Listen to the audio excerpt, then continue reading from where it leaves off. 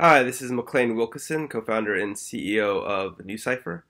NuCypher is a data privacy layer for blockchain applications. So we give developers a way to store, share, and manage private data on public blockchains. Uh, at my talk, we'll be sort of exploring the current privacy landscape of blockchain and decentralized applications and go into sort of the you know survey of the landscape of different approaches and some of the newer technologies that are on the horizon, as well as some of the sort of primary motivators for why privacy is an important aspect uh, of this industry um, in general. Um, we'll also go over some of the sort of cryptographic building blocks like symmetric encryption, asymmetric encryption, uh, digital signatures, things like that, that we use to construct these more sophisticated uh, crypto systems. Thanks.